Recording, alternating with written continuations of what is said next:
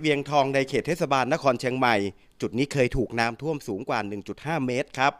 วันนี้เทศบาลนครเชียงใหม่และผู้นำชุมชนเร่งสำรวจความเสียหาย แต่ความเสียหายมีมากครับ เช่นบ้านหลังนี้ข้าวของและจักรเย็บผ้า ถูกน้ำท่วมทั้งหมด กระทบกับการทำมาค้าขาย อาชีพค้าขายธรรมดานี่ก็ขายถนนคนเดิน ตั้งแต่มีโควิด ก็หยุดไปแล้วสองปีกว่าเนาะแล้วของก็เก็บใส่ไว้ในกล่อง แล้วบังเอิญมันไปวางอยู่ต่ำเพราะเราป่วยผ่าตัดสมองมาใช่ไหมก็เลยไม่สามารถที่จะมาเก็บของตรงนี้ได้ น้ำก็เลยท่วม เป็นพวกผ้าปักพม่า แล้วก็กางเกงที่ฝรั่งชอบใส่นะกางเกงแล้วก็ผ้าพันคอ แล้วก็อุปกรณ์เครื่องหนังค่ะ น้ำพัดเข้ามาเร็วเสียหายหมดไหมฮะก็ก็ทั้งบ้านอะเท่าที่เห็นอยู่เนี่ย เท่าที่รู้รู้กันอยู่ว่าบ้านเวียงทองนี่ น้ำมาทุกทีก็จะขึ้นมากกว่าที่อื่น ขณะที่ชุมชนหลายแห่งในเขตเมืองเชียงใหม่ครับ เช่น ชุมชนบ้านเมง ทุกวันนี้หลายครอบครัว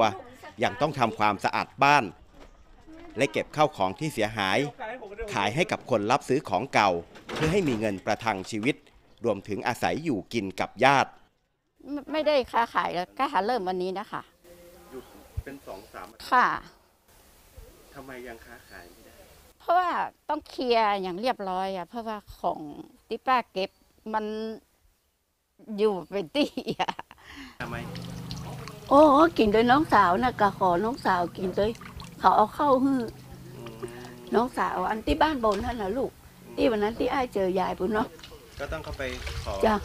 อยู่กินกับที่นั่นค่ะลำบากน่าดู น่าดูเลยลูก โอ้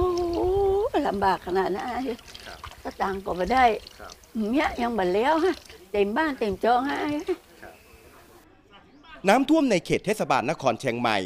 แม้จะท่วมไม่นานระยะเวลา 3-5 วัน แต่ก็เกิดผลกระทบไปมากกว่า 20 ชุมชน ใน 3 แขวงเทศบาลนครเชียงใหม่ ล่าสุดมีการขอความช่วยเหลือมากกว่า 1,100 ครัวเรือน โกวิทบุญธรรม ไทย PBS รายงาน